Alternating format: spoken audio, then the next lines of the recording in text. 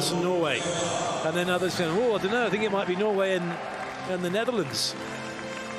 And says that she's in a happy place, even though with the team that she's currently playing. Nice. Oh, that's so good. What a great finish from Malestein for France. Oh, she's lost it. Now this is a chance for the Netherlands to get level, maybe. Oh, what a save! Incredible save! Oh, yes.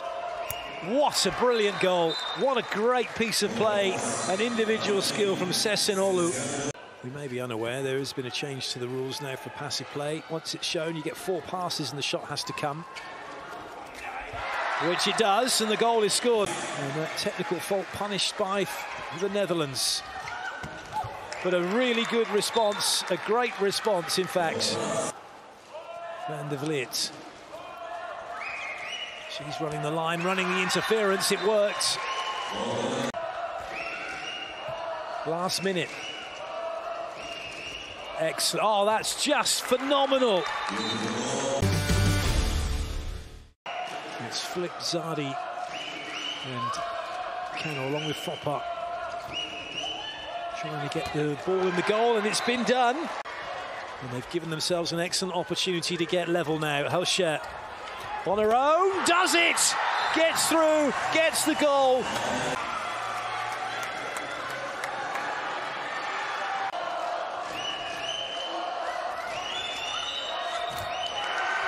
But you just can't discount France.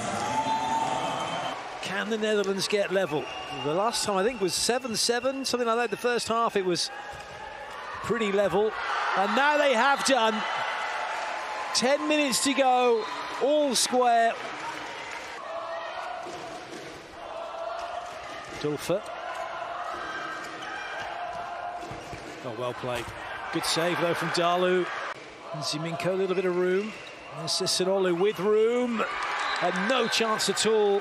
Ten Holte wrong-footed. They can't let that go on much longer. And they don't.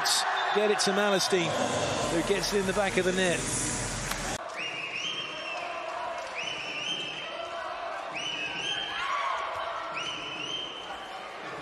Oh, what a goal that is. Toublanc.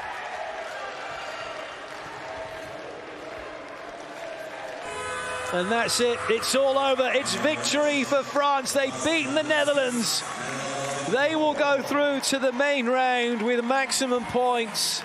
The Netherlands go through to the main round with two points.